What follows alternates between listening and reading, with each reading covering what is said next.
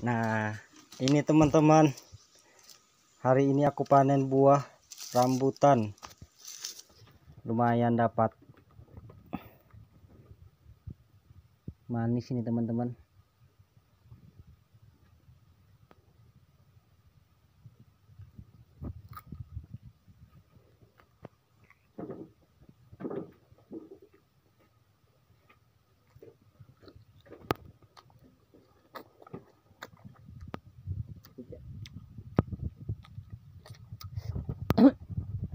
Katakan apa